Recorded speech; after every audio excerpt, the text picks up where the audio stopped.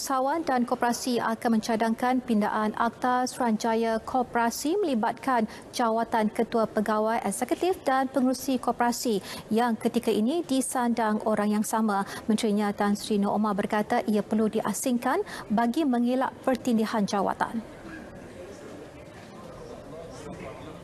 Perkara tersebut bagaimanapun perlu mendapat perkenan yang di-Pertuan Agong terlebih dahulu sebelum boleh dibahaskan di peringkat Parlimen. Yang pertama tentulah kita kena dapat perkenan yang Pertuan Agong. Sebab Suruhanjaya ni di bawah bawah uh, yang Pertuan Agong. Bila Tuan Ku berkenan, barulah kita boleh bawa ke Parlimen untuk dibahaskan nak pindah uh, Akta Suruhanjaya Koperasi supaya jawatan ini biar biar kita asingkan. Beliau bercakap pada sidang media selepas penyerahan bantuan dan pembiayaan intervensi pemulihan ekonomi Koperasi Negeri Kedah di Alustar.